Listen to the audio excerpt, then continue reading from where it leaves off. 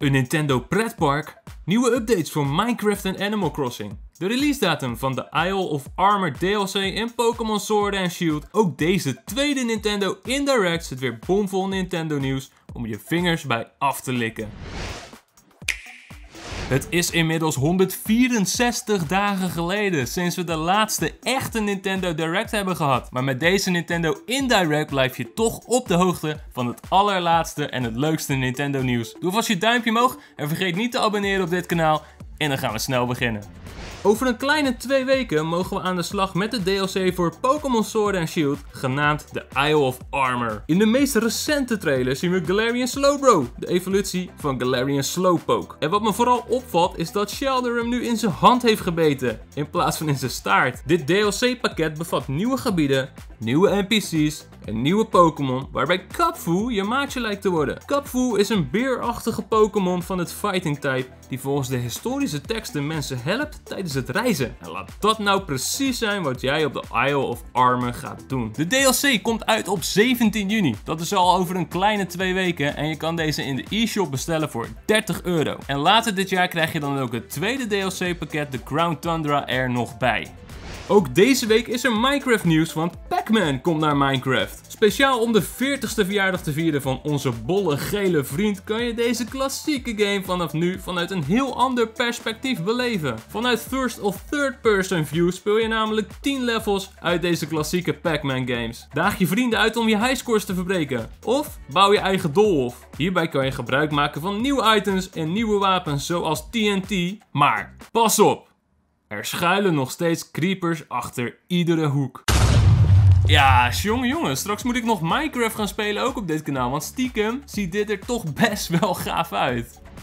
In de comments onder de vorige Nintendo Indirect vroegen jullie al af waarom Paper Mario Origami King niet in de aflevering zat. En vandaag wil ik het toch even hebben over deze trailer. We zien hier namelijk dat Mario de helm van Samus uit Metroid Prime op heeft. En dit kan niets anders betekenen toch dat we binnenkort naast nieuws over Paper Mario Origami King ook meer gaan horen over de Metroid Prime games. Of betekent dit iets anders? Betekent dit dat je in Paper Mario Origami King power-ups kan krijgen van andere Nintendo characters? We zien namelijk in ditzelfde shot aan de rechterkant ook een papieren masker van Donkey Kong. Hmm, dit is super interessant. Het lijkt me echt vet als je dus inderdaad power-ups mag gaan gebruiken van andere Nintendo characters in deze game. Ik kan niet wachten op meer details over Paper Mario Origami King en Metroid Prime. De Nintendo Switch gaat echt lekker.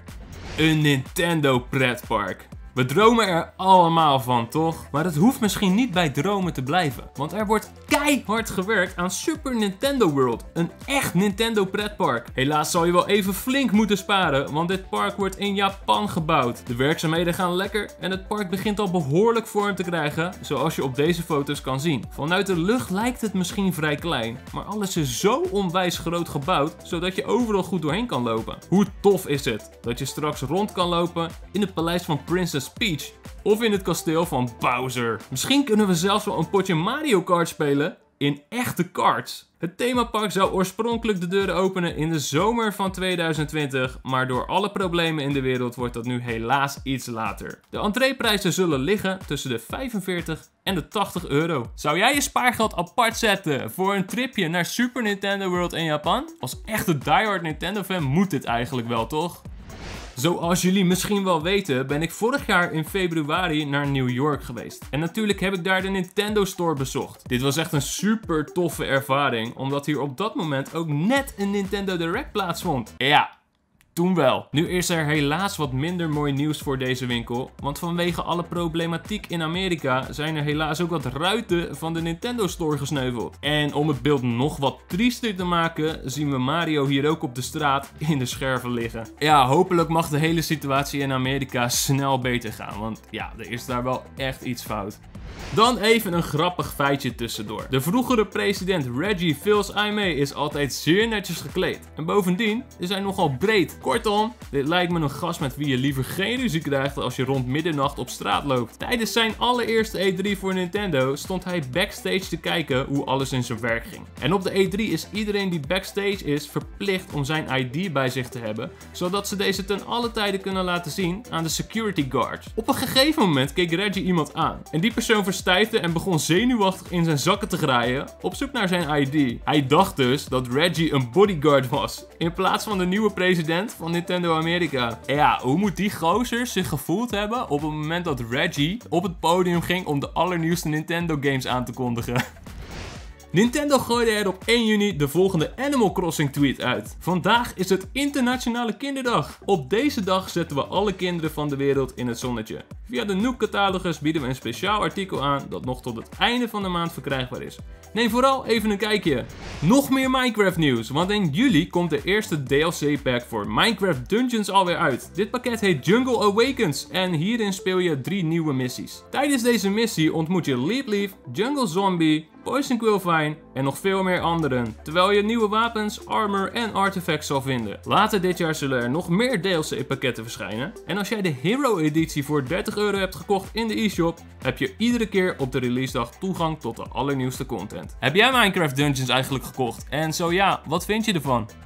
Er verschijnt een nieuw Pokémon spel. Serieus. Alleen niet voor de Nintendo Switch, maar voor je keukentafel. Op 31 juli brengt de Pokémon Company namelijk een gloednieuw bordspel uit. Die zich richt op de Pokémon Trading Card Game. Dit spel is bedoeld om verzamelaars van Pokémon kaarten te leren hoe het spel nou eigenlijk in zijn werk gaat. Elke speldoos bevat een spelbord, maar ook drie themadecks met ieder 60 kaarten. Dit zijn decks gericht op Pikachu, Mewtwo en Charizard. De Pokémon Trading Card Game lijkt misschien moeilijk, maar dit valt eigenlijk reuze mee. Zelf heb ik de Pokémon Trading Card Game online leren spelen. Maar eerlijk, dit is toch veel gezelliger om dit samen met je broertje, zusje, vader, moeder, opa, oma of wie dan ook te doen.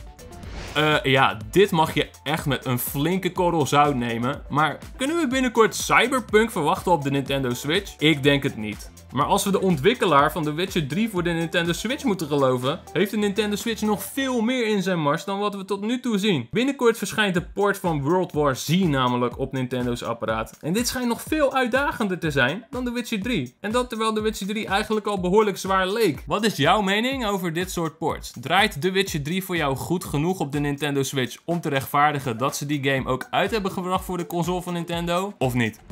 Ook Square Enix is goed bezig voor de Nintendo Switch. De ene na de andere klassieker van deze studio verschijnt. En dat lijkt nog lang niet op te houden, want Final Fantasy Crystal Chronicles Remastered heeft eindelijk een release datum. Deze game verscheen oorspronkelijk voor de Gamecube en het was toen best lastig in het westen om aan deze game te komen. De game is te spelen met 1 tot 4 spelers en je gaat in deze game op zoek naar een zeldzame stof met de naam meer. Vanaf 27 augustus mogen we aan de slag met deze vergeten Final Fantasy game.